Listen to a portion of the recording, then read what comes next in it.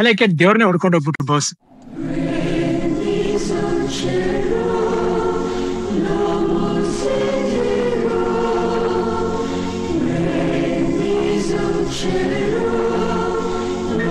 ಹೋಗ್ ಬರ್ತೀನಿ ಅಂತ ಒಂದು ನಂಬಿಕೆ ಇದೆ. ಬರ್ತೀನಿ ವಾಪಸ್.